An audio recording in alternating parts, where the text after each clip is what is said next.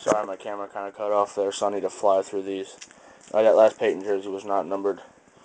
Uh, got a Ty Hill autograph. A Jordan Kent rookie autograph numbered to 999.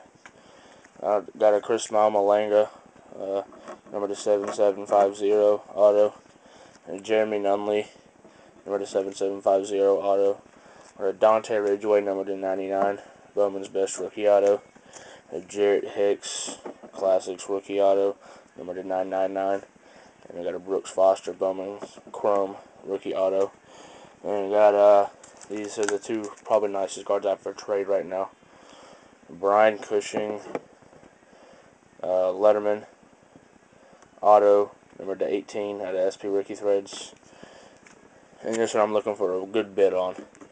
Uh, it's Chris Wells, Bowman Chrome NFL letter patch auto, numbered. My camera does not want to focus ever. See if I can get it out a little bit. It kind of focused there. It's number two of two.